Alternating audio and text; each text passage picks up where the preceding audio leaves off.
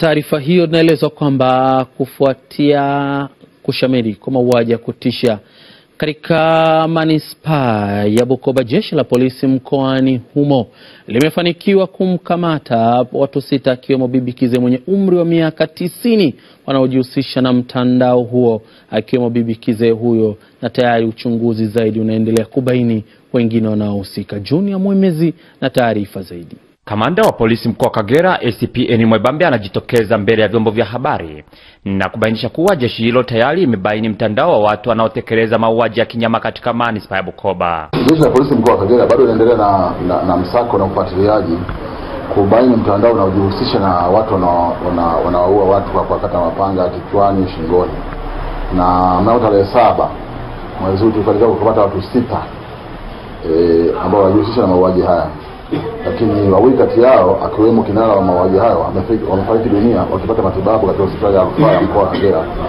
baada ya kujeruhiwa kwa risasi miguuni na polisi waliporuka kwenye gari na kutaka kukimbia mnamo tarehe nane e, mwezi huu majira saa nne usiku.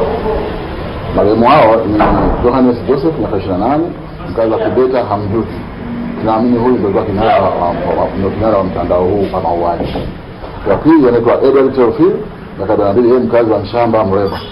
Pia ameeleza kuwa wamefanikiwa kumkamata mganga wa jadi ambaye alikuwa akitoa irizi kwa wauaji hao ambazo zilikuwa zikiwasaidia kujirinda pindi wanapofanya mauaji hayo. Watuhumiwa wengine watano tunawashikilia, majina yao tunawahifadhi ili tukamilishe upelelezi wetu. Mtuhumiwa huyu Johannes Joseph alituonyesha mganga wa jadi ambaye huwa anampa dawa ya kinga hirizi ambaye anaitwa Gaudensia Ndibalema. Huyu mama ana miaka 90, mtu mzima sana, mkazi wa la Ibosa mtamwona huyo mganga umama ambaye atopekulia nyumbani kwake alikuta na e, e, dawa mbalimbali na alikuta na hirizi sita.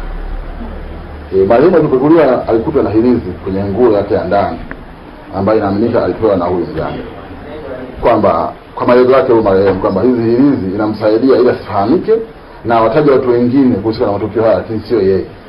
Kwa upande wake mkuu wa upelelezi mkoa wa Kagera Julius Mloto amebainisha kuwa ili kuwabaini wauaji hao ni lazima kuwa na utaalamu wa kiupelelezi. Matukio haya yanahitaji utaalamu, professionalism, ili sasa tuweze kuendelea kama hivi kamanda alivyosema. Tunaweza kubaini mtandao na mtandao, kati tunavyokwenda tutaweza kuachivu eh, haya yaliyokuwa yanatokea. Wasii wananchi waendelee kutuunga mkono, watembee kwa uhuru waache hofu, hakuna cha koromeo. Ni uvumi ambao unaenezwa ambao haupo. Ni kweli mauaji yanatokea, lakini sasa kuchukua koromeo, kama nilivyosema, kamanda, anayetaka kuthibitisha kama koromeo lipo au halipo, anakwenda kwa daktari apate uthibitisho jambo hilo. Ikiwa jeshi la polisi linajitahidi kubaini mtandao huo, bado wananchi wa manispaa ya Bukoba wanabaki njia panda juu ya kauli sahihi juu ya mauaji hayo, baada ya Askofu Elisa Buberwa kutumia siku ya Pasaka kuwahubiria waumini wa Kristo kuwa wauaji wanachukua damu, na hapa tunajikumbusha kauli ya Askofu Buberwa siku ya Pasaka. Inasemekana sasa hatuna wasiwasi juu ya habari hii, wana vifaa, wanakinga damu, kwa hiyo wanaondoka na damu. Hata ukiwa na fedha, wala hawachukui fedha, wao wanataka damu kwa ajili ya ushiriki. Tokana na takwimu za jeshi la polisi, mpaka sasa jumla ya watu saba wameuawa katika manispaa ya Bukoba. Kutoka mkoani Kagera, Kabigumira Junior Mwemezi, Azam TV.